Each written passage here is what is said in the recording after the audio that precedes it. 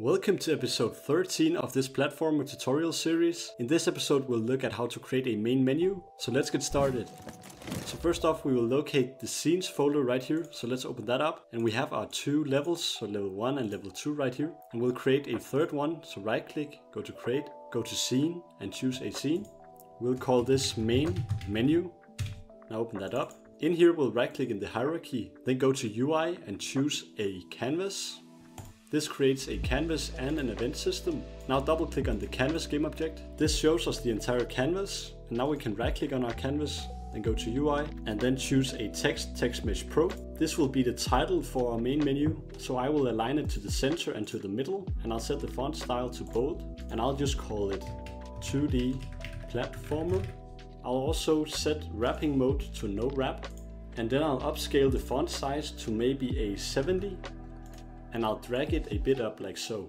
Now let's click on the main camera and change the background type to solid color. And now we can choose a color for the background. I'll just do a lighter blue like this. You can do whatever you want. Then let's also rename this text to title text.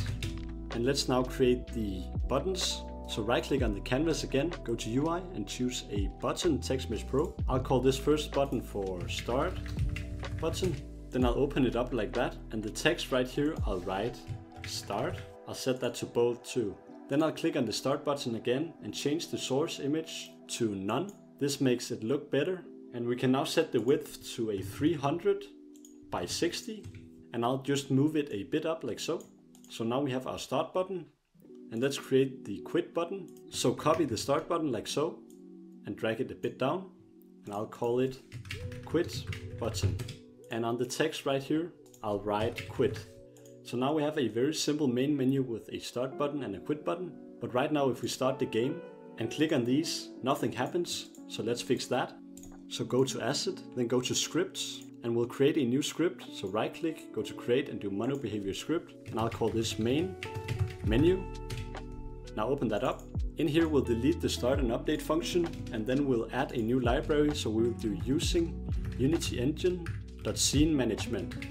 So now we can easily load scenes using this library. And in here we'll create a public void called start game and we'll also create a public void called quit game.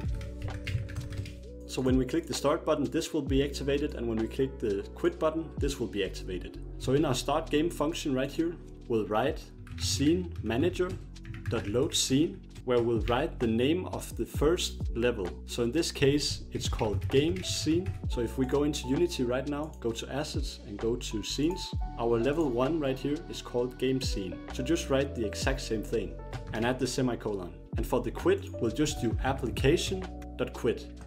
And this will only work when we build the game, so it won't work in the editor if you actually click the quit button. Now let's head out into Unity again and we'll click on the canvas. Then we'll add the main menu script right here. Then we'll click on the start button and we'll scroll down to see the whole button component right here where we have this on click event. So click on the plus icon and then drag the canvas right here and go to no function and choose main menu. And for this one, this is the start button. So we'll do start game. And I can see I made an error right there. So let me just fix that. So we'll do start game instead like that.